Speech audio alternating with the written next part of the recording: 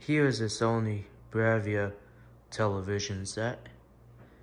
It's one of those older ones, and what I mean by the older ones that they don't have the sound when you turn them on. And this is one of these.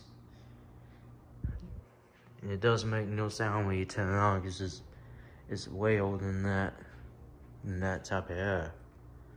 So anyways, there's that. Here's this. This is model KDL-40S4100.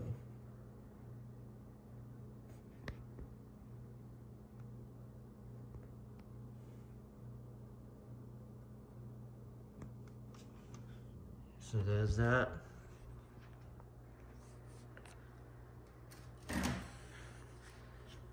He's a remote for it, original. The camera can focus as a model. i IM-ID025.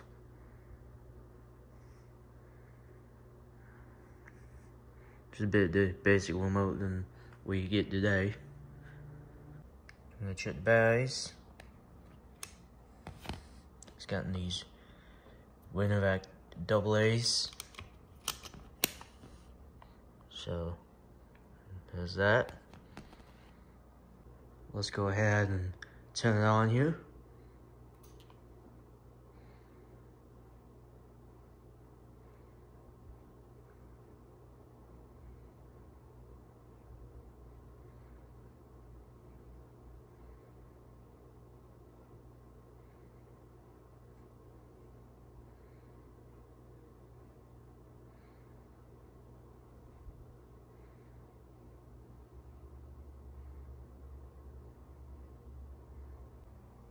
Alright, seems like it has finished turning on, so now we're going to turn the Spectrum receiver box on, which we're going to use the button for since the remote for that is programmed to the set itself.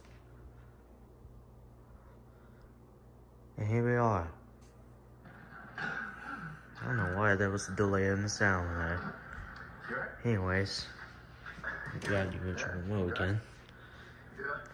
Here's the volume. Take some motion, get some sleep. Yeah, all right. Yeah, got your kicks. Give me a hundred bucks.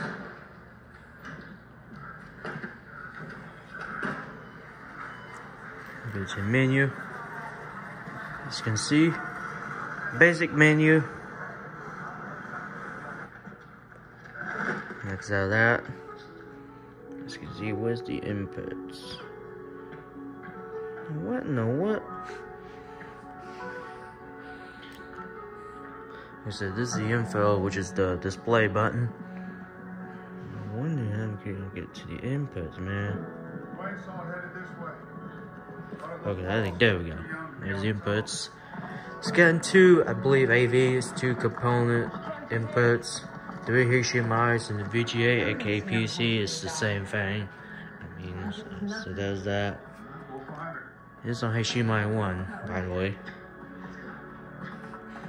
Now I am planning, and there's going to be a video on this Blu-ray player, by the way, so stay tuned.